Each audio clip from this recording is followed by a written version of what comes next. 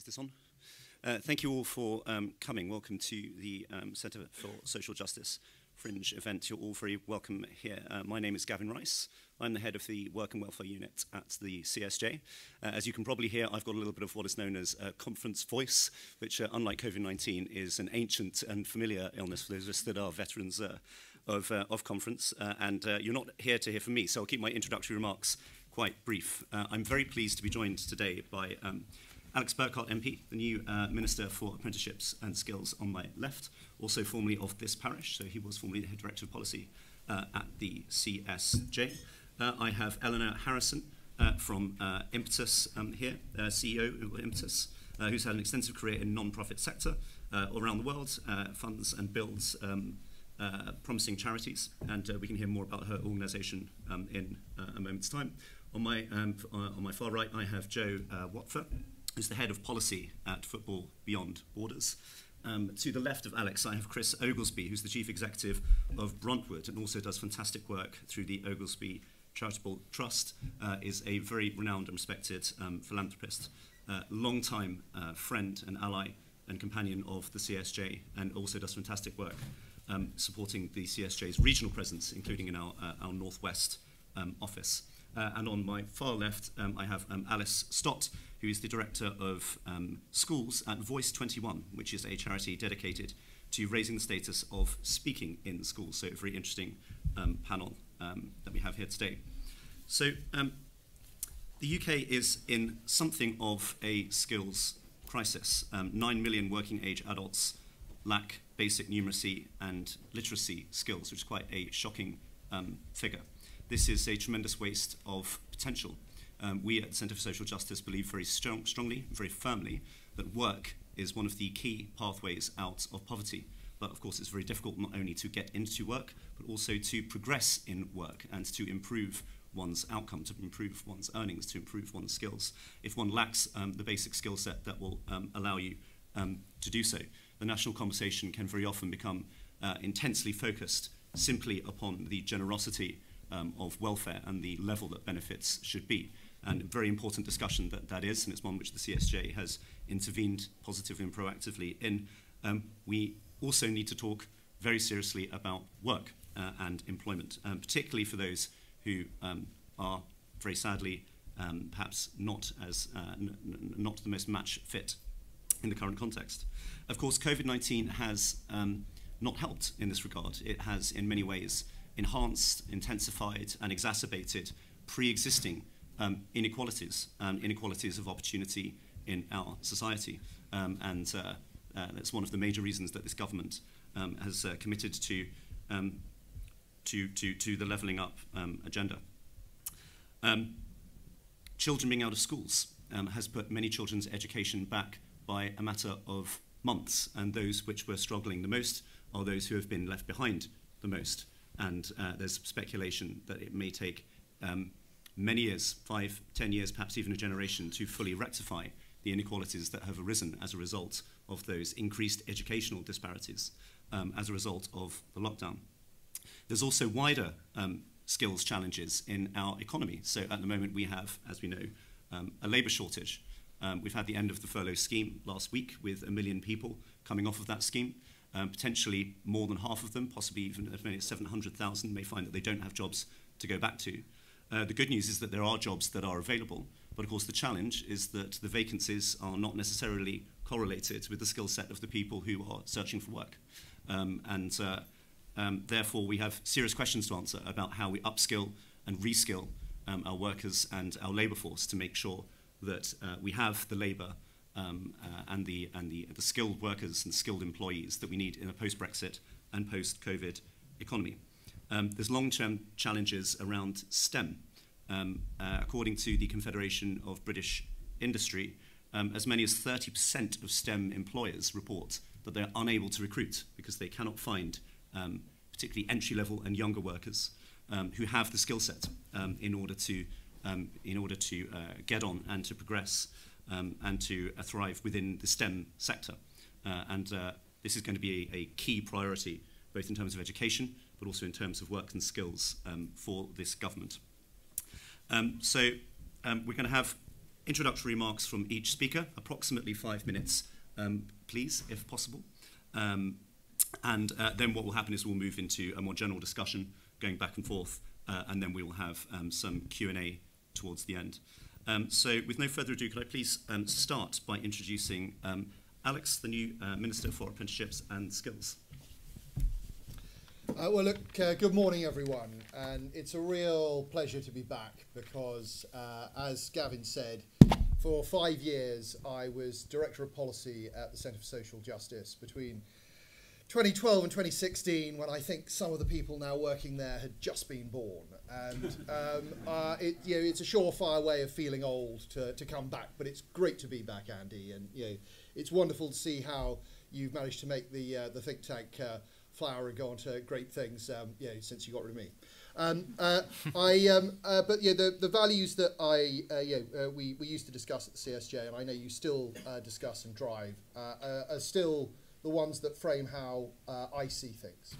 And the, the pathways to poverty, five pathways to poverty, have, uh, framed a lot of my thinking over the years. You know, the fact that it's family breakdown and worklessness and addiction and serious problem debt and educational failure that leads so many people to get caught in a rut that they struggle to get out of without, without a lot of help.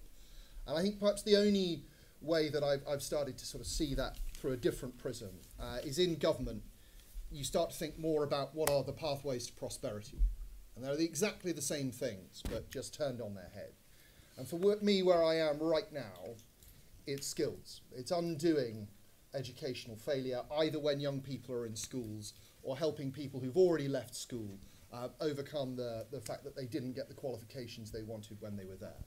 I'm going to go on and talk about that in a minute, but I can't uh, really talk uh, in this session without discussing a little bit uh, about, well, we're sort of trampling on Will Quince's territory Because um, you know, Will is the current Minister for, for Children and Families, an excellent minister, really done, did a really, really good job at DWP. Very delighted to have him as colleague in, in DFE.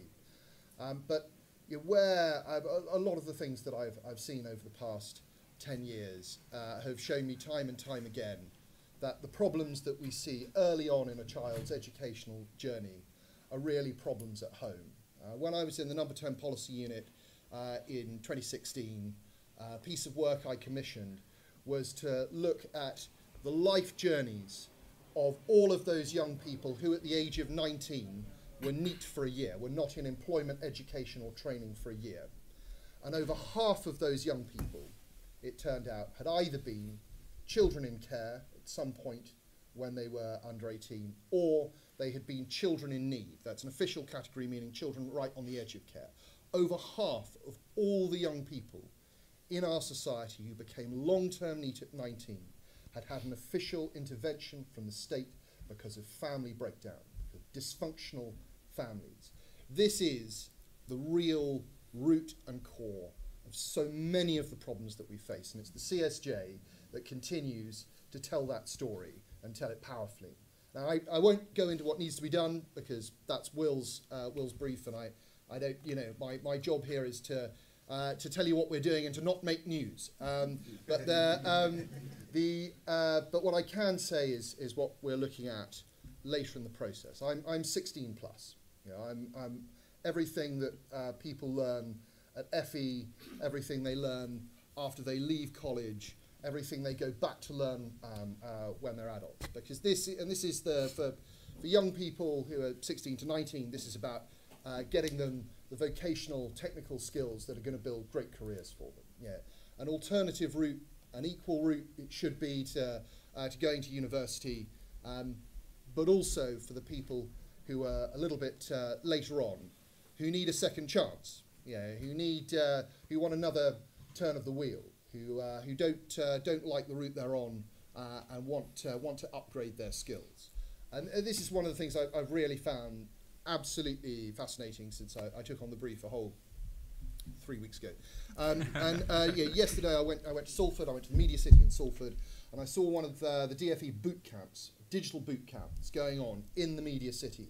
And it's training people up over 16 weeks, an intensive course in cybersecurity creating the skills that the businesses in Media City need in order to grow their businesses further.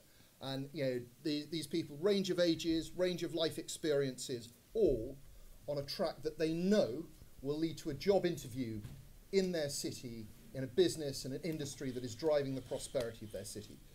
Really, really inspirational stuff. And um, you know, we, we are doing, we are currently expanding our program of boot camps um, a great deal for a whole range of areas in a whole range of uh, parts of the country.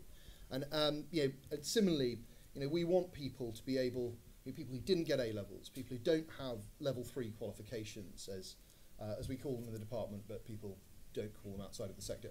You know, that, that people, you know, people who didn't get those A levels um, can go back and take uh, uh, take advantage of the Prime Minister's lifetime skills guarantee. You can go and get level three qualifications uh, in technical areas boost your career chances. And that's, yeah, it's very, very exciting um, prospect. Again, chance for people to move on, to progress. Again, the sort of thing that CSJ has always championed through its work on universal credit. How do you get people into work? How do you get them into more work? How do you get them into better work? And the skills agenda that, uh, that Nadhim Zahawi is, is leading right now is really driving that through, you know, through this different prism, through this prism of lifelong uh, training. And then further down the track, uh, we have uh, the Prime Minister's idea for uh, a lifelong learning uh, entitlement, uh, lifelong loans. So if you've got your level three and you want to get your technical skills at level four and level five, those skills that are holding, uh, lack of those skills are holding back productivity in our country, you'll be able to borrow the money on the same terms that an undergraduate can borrow those, that money to you know, get yourself the next job, to move on. and you know, that continuum is really what is uh, you know, driving me as I look at what this job can do, what this, uh, what this um, uh, brief can do. Yeah, at every stage, how do we help people skill up? How do we help them move on? How do we help them progress? How do we help them take control of their life story? And uh, yeah, the last thing I want to just you know, want to land with you is that it's uh, it's not just about uh, what we're asking the individual. It's about what we're asking business as well, what we're asking industries and sectors and cities around the country. We're trying to build a much more responsive system, a system in which uh, there is greater dialogue between local government, business, and uh, further education, adult uh, education providers, so that we can say hand on heart to potential students, these are the job opportunities in your area. These are the training courses that we know lead to jobs in this area. You know, this is how you can build a career in your part of the country. This is how you can have ownership of prosperity in your part of the country. This is an extremely exciting time for skills. This is an extremely exciting time for our country and our economy. And what we can do now is we can create a generation who has the opportunity and the ability and the know-how and the knowledge to turn on and log in and skill up. And that's what we're going to be doing.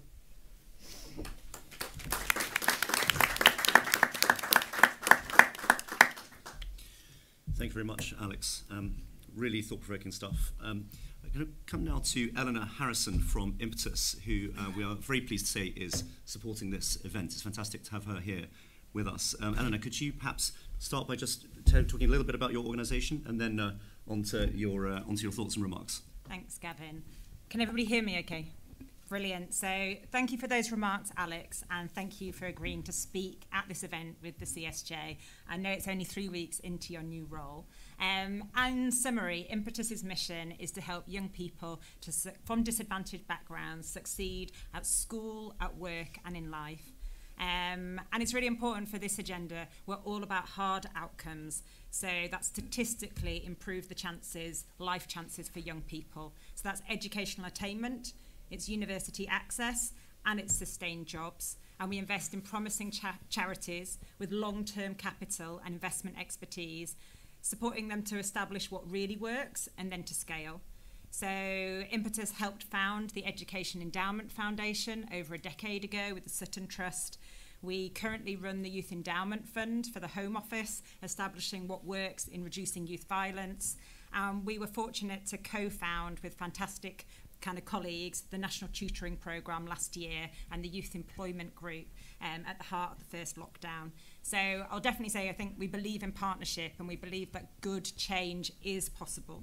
Um, we're not negative. I'd be really remiss for me not to say that Football Beyond Borders and Voice 21, who are on the panel and you're going to hear from, uh, they're fantastic colleagues of Impetus. We've been backing them for several years because they both deliver benchmark beating outcomes. And if we're going to deliver on apprenticeships and skills, it's about kind of outcomes beating work. So skills reform, um, it's rightly a major plank of the government's le levelling up agenda. So we're all eager in the sector to see how this commitment is translated into resources in the upcoming comprehensive spending review. And we're also eager to see what the government is going to do with the recommendations of the Augar review it inherited. I think it would be fair to say that we've all been waiting quite a long time to have a response to Augar. Now, we're realists at Impetus, so we're not expecting proposals and resources that can meet the needs of everyone. That would be an unfair ask. But we do want to see all, and I repeat, all young people, irrespective of their background, have the range of options open to them and be able to pick the right choice for them. So it will not surprise you when I ask the question who should be the focus of our attention we think that young people living in poverty should absolutely be the attention kind of of the new skills agenda. It's critical to any vision of levelling up. You know, as you heard from Gavin's intro, you know, these young people are behind before they even start school. It's measurable at 22 months. They're 40% less likely to get English and maths GCSE. They're less likely to go to university and they're less likely to get jobs. And they're 50% more likely to not be in education, employment or training. Um, now, we'll give a plug here for level two. So we heard Alex say level three, but investment in level two is absolutely critical and solvable as part of this agenda. And otherwise, the risk is that that stubborn NEET rate, which is at about 11%, will increase and then levelling up will fail. Now, what do we already know? What is the evidence on which we should be basing our policies? So we heard a little about, about early years. Relationships, aspirations and expectations really matter in that area. English and Maths GCSE by the age of 19 is the critical determinant on your income level later on in our society. The role of tutoring kind of is really critical in helping people that have been left behind. I talked about level two, also level one apprenticeships. Going to university does deliver high outcomes for young people from poor backgrounds. Widening participation has been a success. So a plug here, don't cut from higher education to fund further education, but do fund further education more. High quality, highly relational 6 to 12 week employment programs with employer links embedded do succeed in helping young people get into work. And attention in all these phases is essential to bridge the skills gap. Now, just a little bit on widening participation. So improving the quality of non-university routes to intermediate and higher skills is long overdue and needed. But do not overlook ensuring that young people have a fair opportunity to access university if it's the right route for them. I'm really delighted that Alex's brief includes widening participation in HE alongside the non-HE elements he's talked about Higher education and further education are not in competition. They are different valued routes for young people to thrive. They're part of the same ecosystem. Now, I hope a well-joined up brief for Alex is the first step to, towards developing a coherent post-18 system. I'm not sure if I want to say no pressure to Alex or please don't miss this opportunity. Um, and then just a little bit more on technical skills and apprenticeships and bridging the gap. Um, many of you will be aware that the unintended consequence of the apprenticeship levy is we have the lowest levels of young people accessing apprenticeships now than we have had in over a decade. It wasn't meant, it's an unintended consequence. And there's a real lack of focus on level two, and yet we know investing in level two helps young people from poor backgrounds transition into level three roles. So again, let's not miss the opportunity to really tackle the NEET issue. So in summary, let's be strategic, let's follow the data, and let's implement and scale what works. Do invest in high quality social and emotional interventions that contribute to attainment And that's key. We've got a lot of social and emotional interventions that need to contribute to attainment in early years, primary and secondary. Do invest in literacy and numeracy to achieve English and Maths GCSE by 19. Do invest in long-term, high-quality, high-dosage tutoring. Protect the widening participation budget. It really does work. Invest in those employment programs. Do focus on level one and two apprenticeships do implement the youth opportunity guarantee and always put the heart and the needs of the people we want to upskill at the heart of any program design and that's getting young people in the room in the table to contribute to what works thank you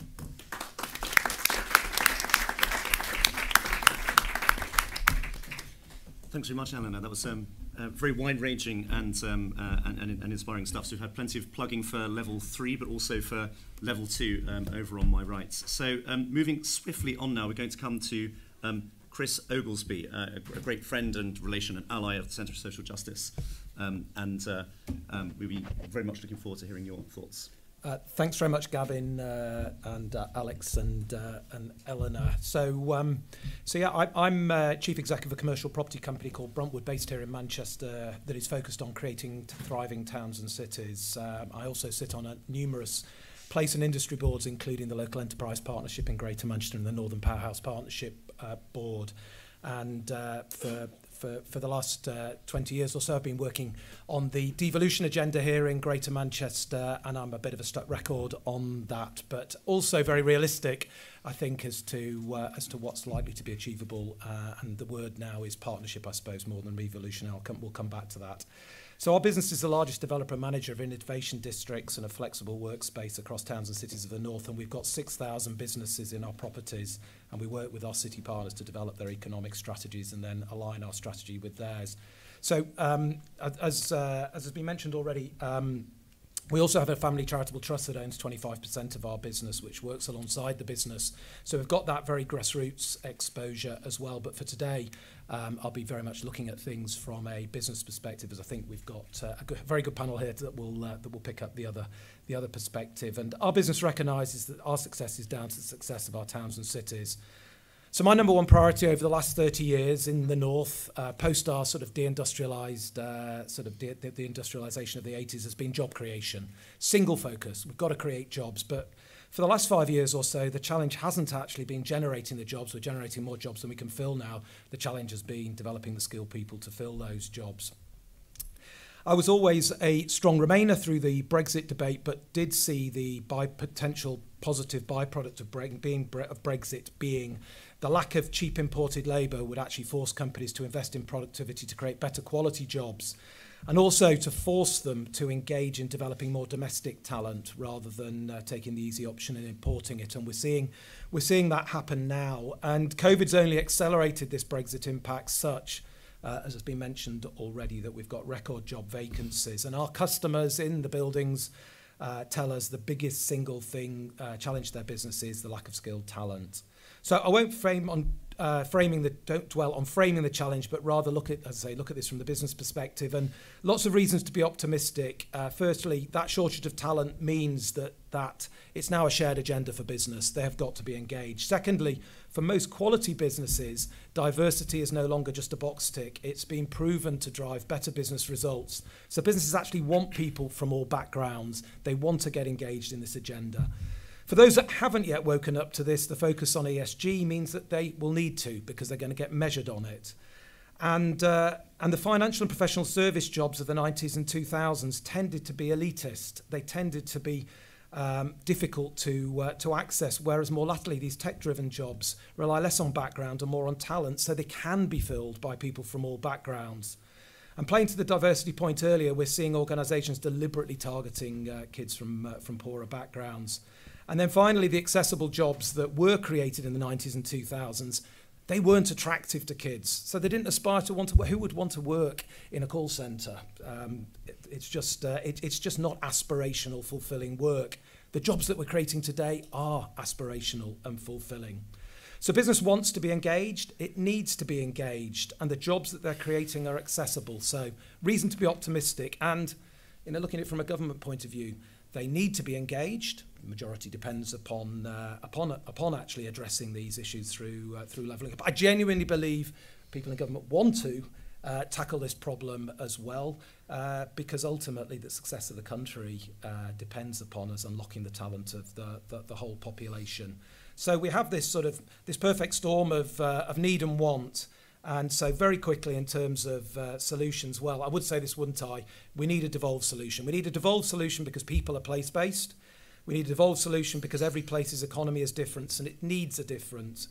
Also, demand is increasingly granular as our economy is dominated by SMEs, so we need local aggregators of demand. This is, there are very few Jaguar Land Rovers out there that can go and set up their own universities or talent pools. We need place-based aggregators of, of skills demand. We also need on-the-ground quality assurance of providers as well, because provision, the quality of provision is, uh, is mixed to say the least. And finally, skills is only part of the solution. It needs to be fully integrated into the wider play strategy, which really then links to my second thing that we need to do, which is we need a partnership approach. We need a partnership between central government and local government. We need a partnership then at a local level between business, local government, schools, HE and FE, private sector training organisations and the third sector. A few examples of this. We're pitching hard in Greater Manchester at the moment for a place-based innovation deal to develop the innovation ecosystem that has skills at the heart, which allows business, um, those SMEs that are really driving um, either diffusing or, uh, or adopting innovation, uh, aggregating their demand from skills and developing uh, pathways with other local stakeholders. And, uh, and then finally, just, uh, just a comment, we need the same join up at government as well. increasingly what we see is we, uh, we, we see this rather siloed approach in government where different, um, uh, where different ministries don't necessarily speak across the piece. And uh, we take a great deal of heart in terms of the way the government is tooling up its, uh, its, um, its levelling up uh, department, as it's being called now, uh, and it's important that, that, that colleagues then work across the uh, system on that. And Neil O'Brien's tweet yesterday, which had the four things that he saw as being at the root of, uh, of levelling up, the one thing I would add to that in terms of point one, which talked about empowering local leaders and communities, I would say is, is the one thing that you can empower those local leaders and communities, but we need to develop local leadership. Not everywhere has the quality of local leadership that we've got uh, in this city, city region, and you need to develop that culture of collaboration, both nationally, locally, but also at a place level. Because again, working around the country as we do, not everywhere has that culture of collaboration. But lots of reasons to be optimistic. This is a shared problem that everybody wants and needs to address now. We just need to will the means as well as the end.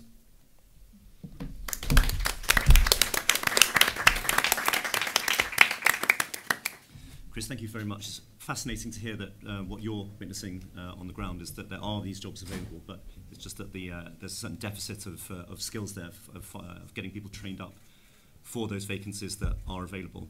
Um, I'm very conscious that uh, we need to make time for discussion, so swiftly I'll move on to Joe Watfa from uh, Football Beyond Borders. Um, well, hello, hi everyone. um, yeah, th thanks for inviting me along, and uh, really good to be speaking with such uh, yeah esteemed esteemed such an esteemed panel. Um, yeah, I'm gonna I'm gonna sort of focus on um, a bit of what Eleanor Eleanor said and, and the minister said around um, yeah what we do at Football Beyond Borders to ensure that young people when they get to sort of 16 that they're able to sort of uh, transition successfully into adulthood.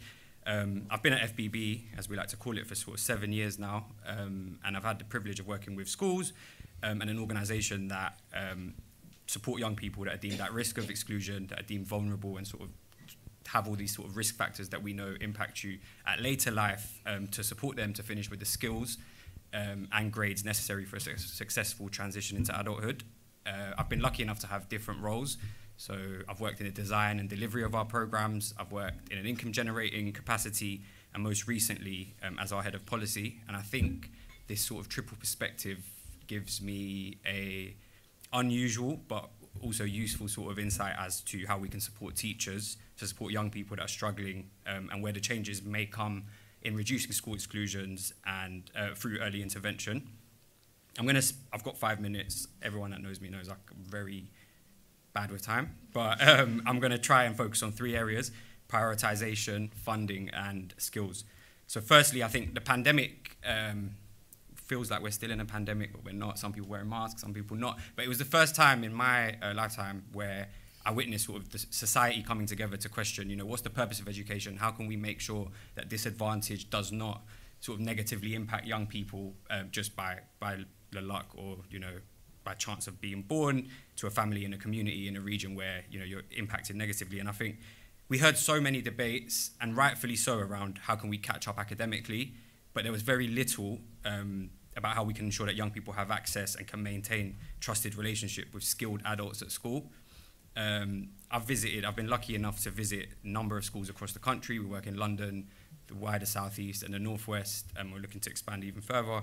Um, and what's been noticeable has been the reduction in the number of people um, that sort of provide these key relationships for young people in schools, um, tighter school budgets, opportunity costs of you know maths teacher, TA, um, and what's happened has meant that um, student well-being has has been added to sort of the workload of teachers, and you know teachers I think are some of the most underappreciated uh, you know professionals in our country, but having to sort of teach maths, achieve academic outcomes while also you know picking up the the trauma and the sort of impact of a child who's maybe struggling at home or has different struggles that aren't sort of visible to the eye is something that's very difficult.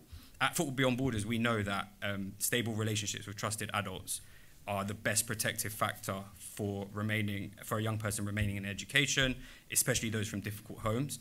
But unfortunately, it doesn't take sort of the forefront of, of discussions around the purpose of education and how we can ensure to support um, these young people. I'll give you an example. Um, a young person that I met on a visit in the Northwest, sort of towards the back end of last year, um, I went and I asked him what, what does he think um, students need in a post-pandemic world in order to thrive and develop and to catch up.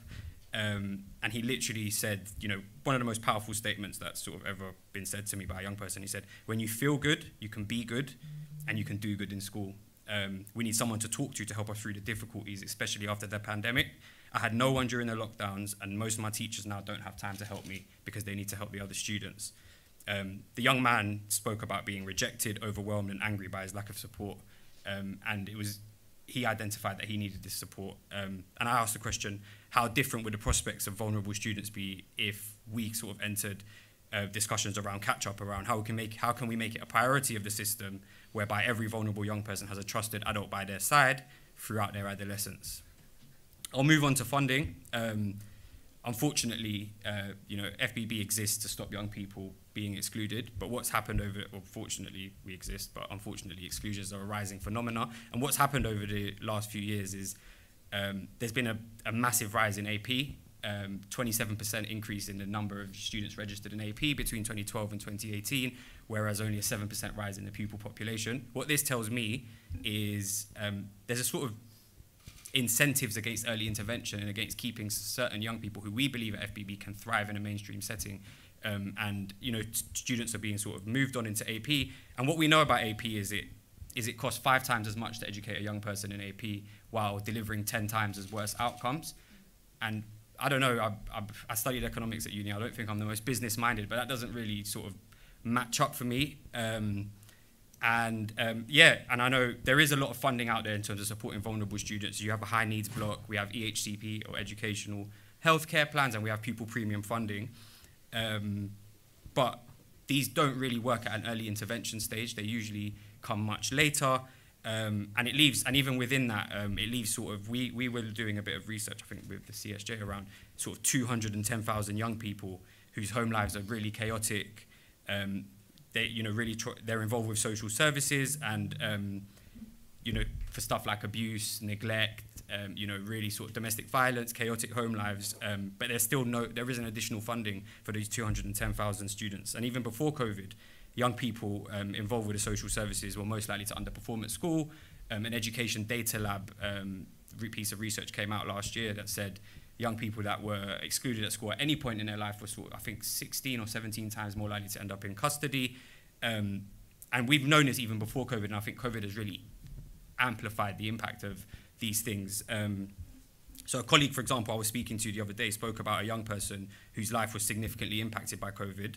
He lost four family members as a result of the pandemic, and his grandfather sort of uh, uh, had a stroke, and um, at that point, we, you know, he, we, we were there to support, but there was no sort of obvious way within the system that schools and school leaders and teachers could really provide that young person with immediate, urgent support um, that he is likely, you know, his need to re-engage in school and to thrive in school. And I asked the question, and something that FBB we spend a lot of the time thinking about is how can we create a system which uh, provides the, the right kind of rapid mental health support that this young boy is going to need to thrive at school.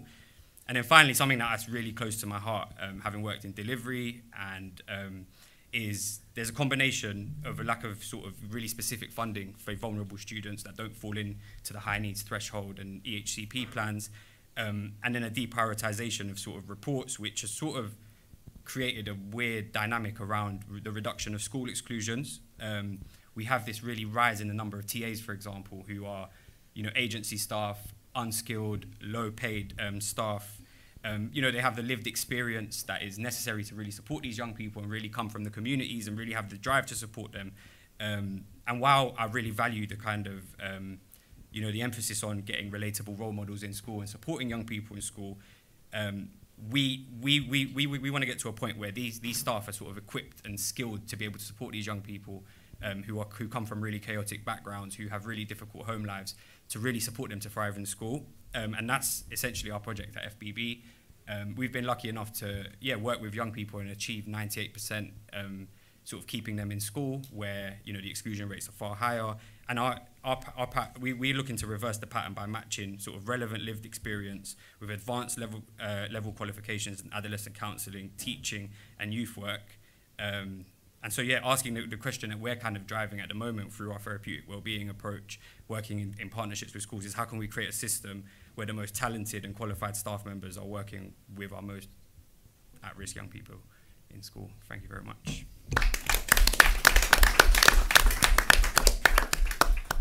Joe, thank you so much, and it's great to hear about the uh, excellent work of your fantastic organisation. Um, so, uh, final um, uh, initial short speech then will be from Alice, and then we'll move into some discussion and some Q and A. So, over to Alice. Thank you.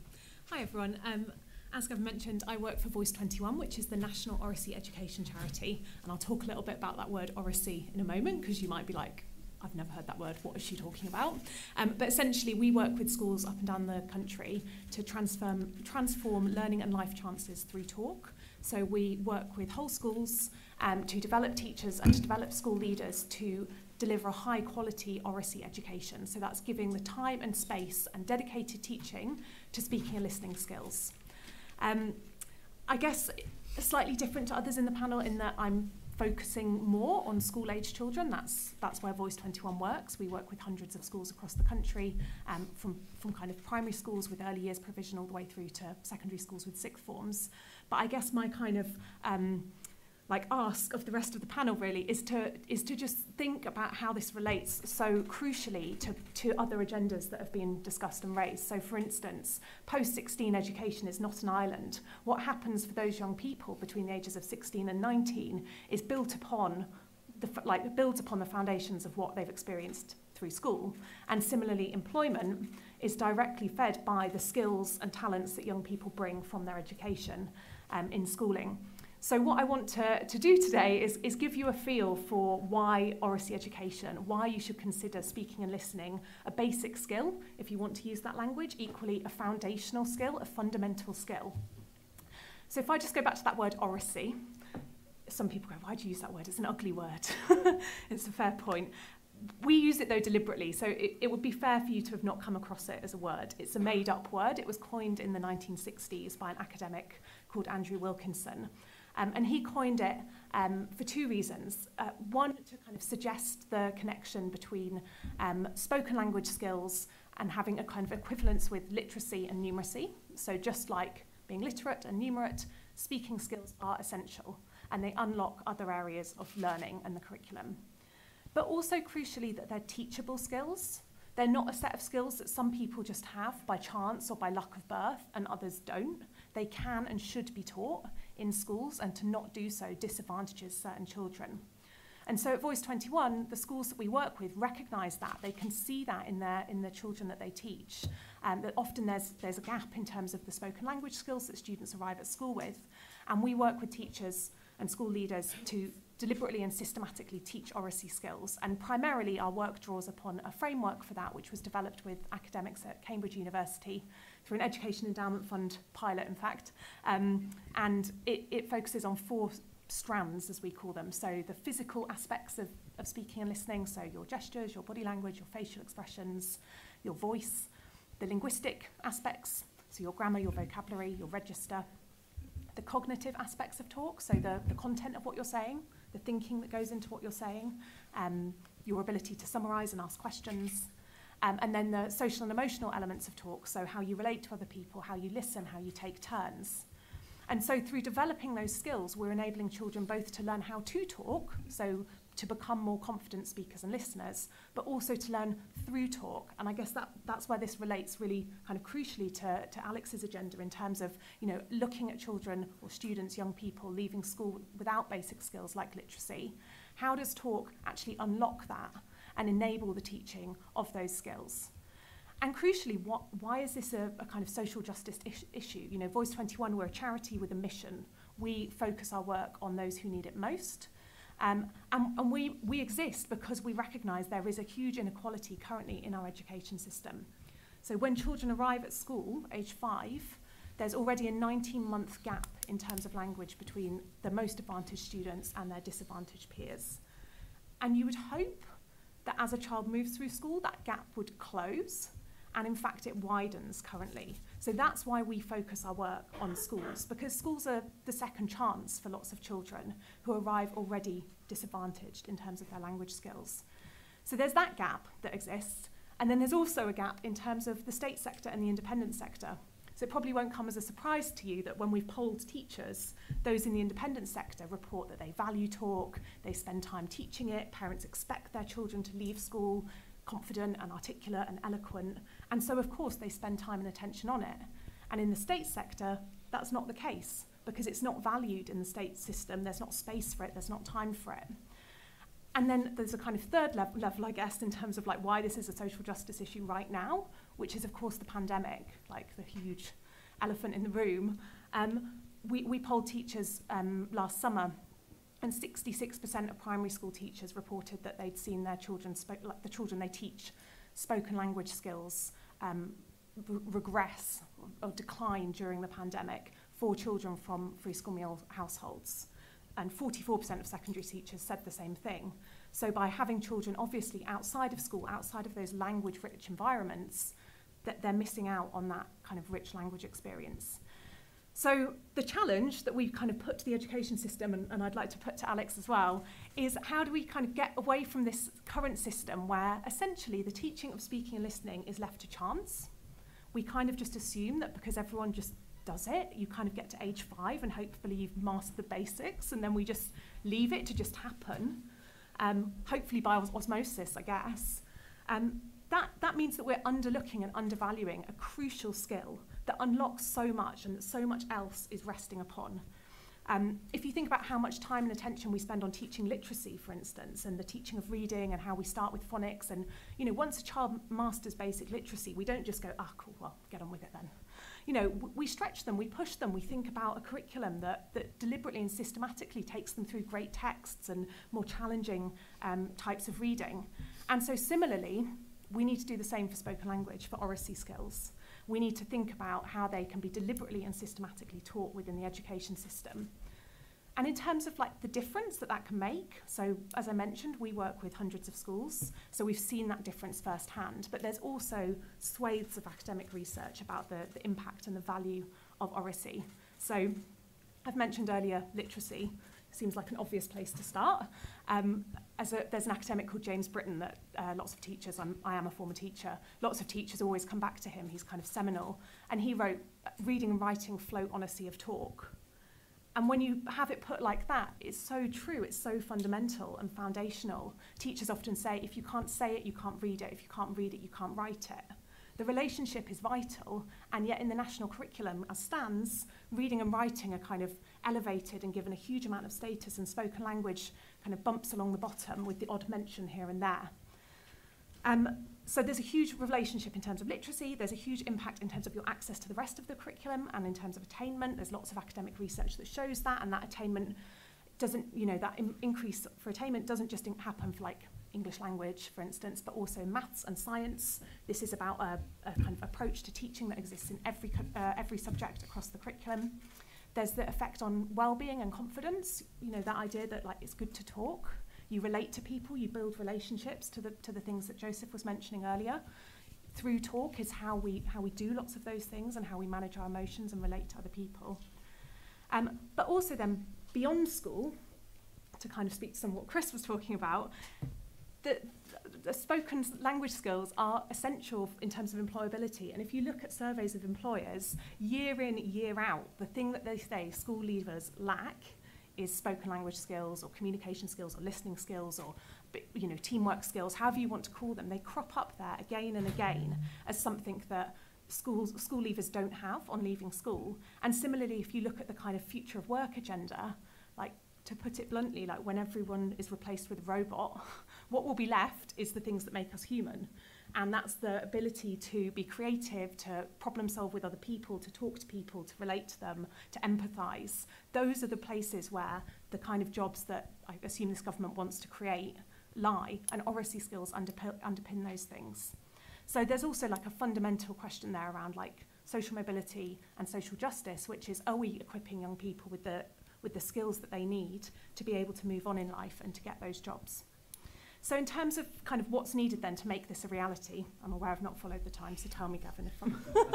just, just I'll, I'll wrap a, up a one minute minute. more, okay. that's all right. Yeah. Thank you. Yeah. Um, so in terms of what's required to make this a reality, kind of what, what are our asks? I guess um, the, the big thing is around signalling and uh, supporting schools to make this shift.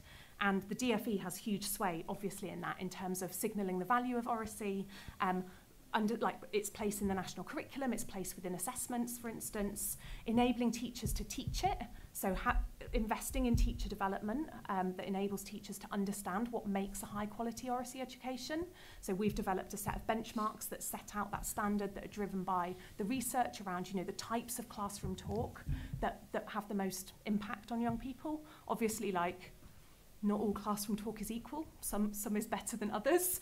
Um, so you know what are the what are the really effective ways that teachers can use talk? It's not just kind of setting up idle chit chat in your classroom. It's thinking really purposefully and deliberately about the talk that you want to happen. Um, and so I guess with that, an, an ask for um, for Alex and others in, in the Department for Education to follow the evidence on this one because there's a huge amount of evidence. And currently it's like this untapped resource. Like talk is free and it's everywhere and we do it all of the time and yet it's not given very much time and attention at all. So to that point that i started with you know the, the education system is not a series of islands they're interconnected. And so the things that we start with in early years foundation where talk does have some status that should run all the way through secondary school to relate to things like post 16 education apprenticeships um, and kind of moving on transition to careers. And yeah i'll leave it there.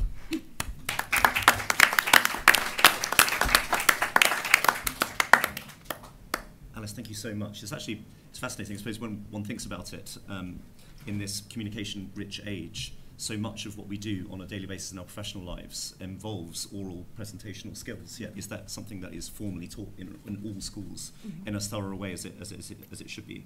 Uh, something I'd not fully considered before. Um, so we're, we're running a little bit short of time. I do want to make time for questions, but if I could just pick up on one thread that uh, I thought sort of arose from the discussion around uh, level two and, and level three. It seems to me as though this question around universities and the kind of tertiary um, space, um, on the one hand, um, obviously, um, as Eleanor said um, absolutely validly, uh, it's very important that we facilitate the choices um, of, of young people and uh, give them that opportunity to go and pursue what it is that they want to do, and that's absolutely vital. But then also on the other hand, I think there's a, there may be a valid question to be asked about the extent to which um, universities have been providing the skills um, for the jobs that are actually available in the economy for some people, and perhaps skills that the country actually requires. So, how do we strike that balance between facilitating people's choices and actually generating the kind of skills that might lead to employment or lead to the kind of skills that the economy needs? Can we maybe start with Alex and then see if anyone else has any any thoughts on that? Sure. I, well, look to, to go back to um, Eleanor's very um, you know very valid point about HE and FE and you know how these two depend on each other. And I, I'm not sort of wild about the distinctions that we tend to draw between um, you know vocational courses and academic courses and you know further education and higher education. You know we, we have a lot of great really great uh, training courses that are now delivered by universities. You know, I sure we all know people who studied medicine at university who were doing a vocational course, but you know, were doing it in an HE setting.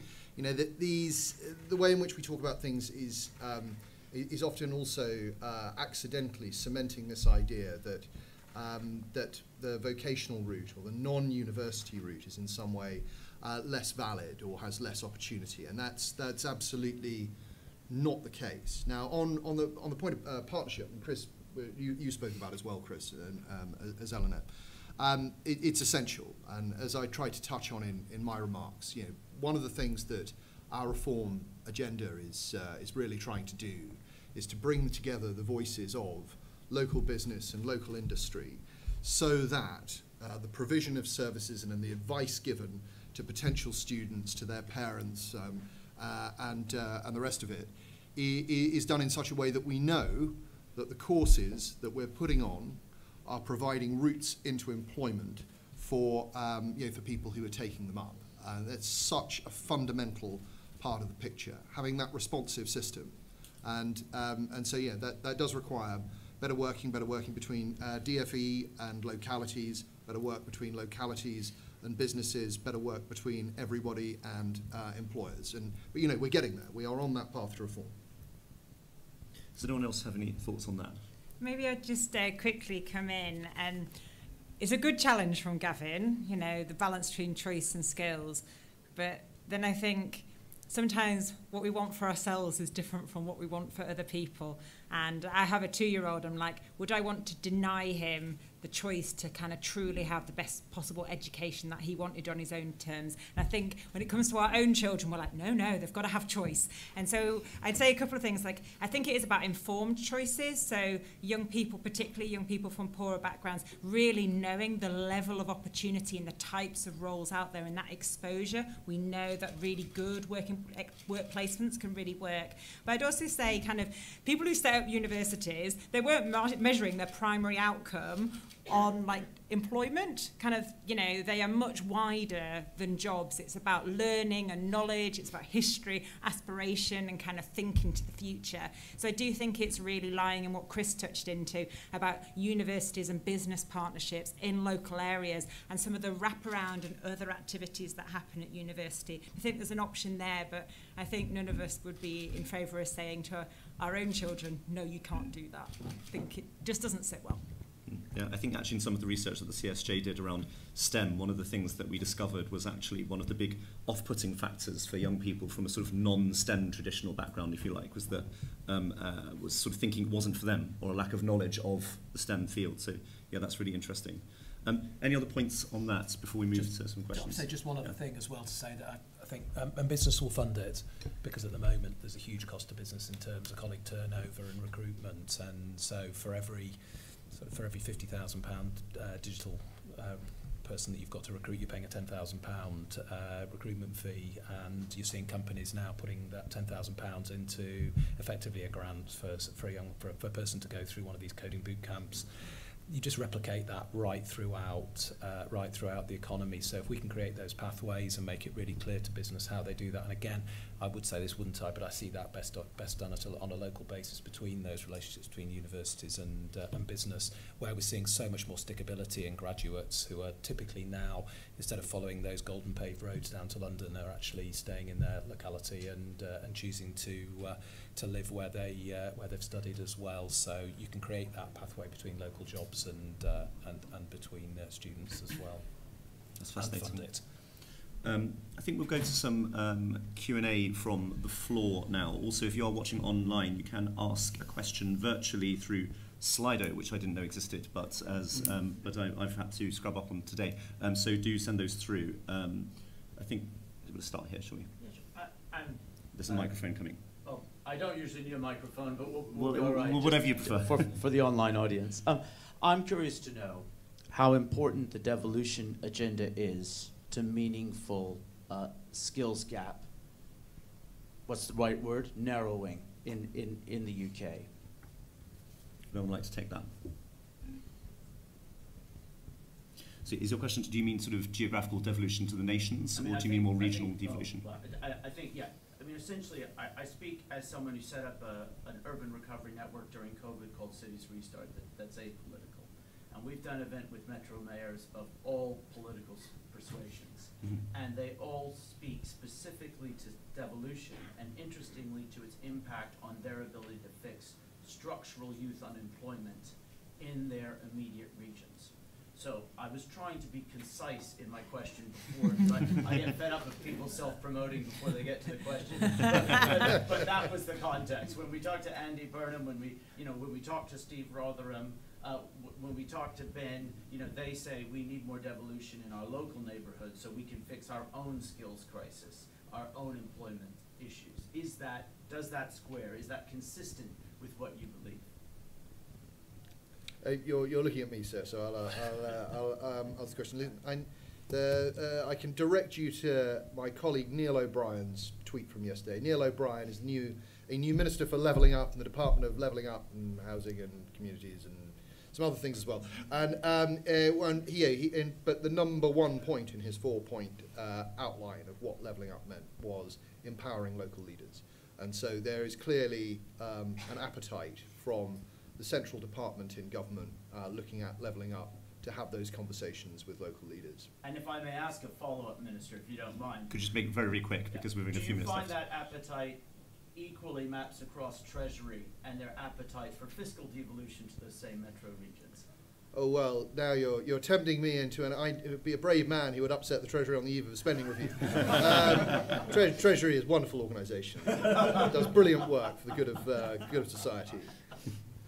Well, let- Let's let the minister off on that one, I think. um, uh, should we take a couple at the time? So perhaps you, sir, and then um, gentleman at the back, maybe. Um, Thank you. I was very interested in Alice's point that um, school is a second chance for some children, and also in the idea that children need, um, uh, we need to invest in levels one and two. Now, I want to suggest that there is a serious skills gap, and has been since 1980, um, in the teaching of reading and maths to children for whom learning these things is not straightforward. Um, there's been a big emphasis on inclusion, and often at the expense of the teaching of literacy skills. And J- um, Janet Hewitt, um, Jackie Hewitt Mains just joined the Conservative Party. People may have seen her excellent television program with Sandi Toksvig. Um, and I did recommend on Con Home that Alex might like to meet her. I hope he will, but I hope he will promote training for teachers to teach these skills effectively. Great, thank you. And then um, I think that it was the, uh, well, you, yes, just with microphone. Thank you. I'm Abdul Mateen from the Isle of Wight Conservative Association. Um, the children who do their A levels when they're about 10 are special to their parents, and the children who are still struggling when they're 16 uh, with the mental age of about 9 are special to their parents.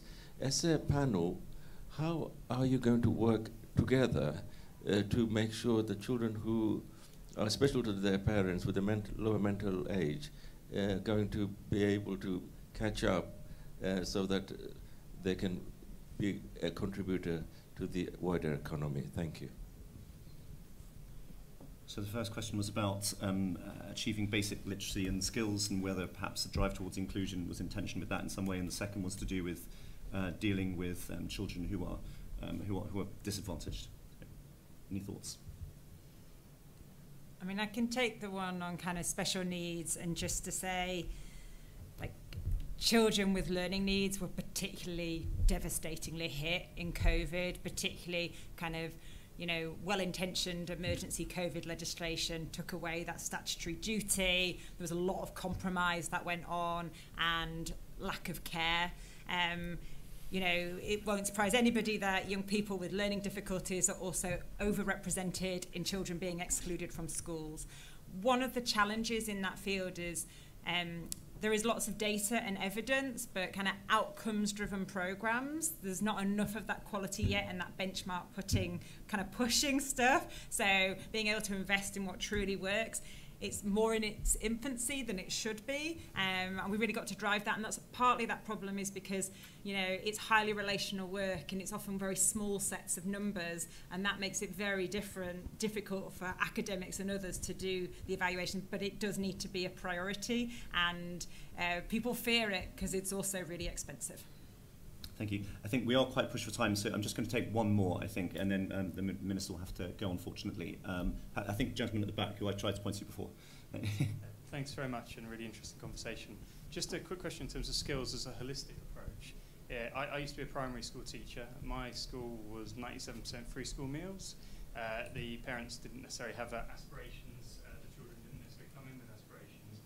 Uh, so in terms of helping them to push forward to get skills to employ them in the future, how does the panel view knowledge-based towards skills-based teaching as, as, as an idea in terms of helping to push through? So you could talk about level twos and level threes later on, but if you're going in and you just know who Henry VIII's wives were rather than having the analytical skills to understand about the skills involved, about why that might be important, you, you're not necessarily going to push forward when you get to higher education or further education. So are we undervaluing skills-based educational methods? Anyone?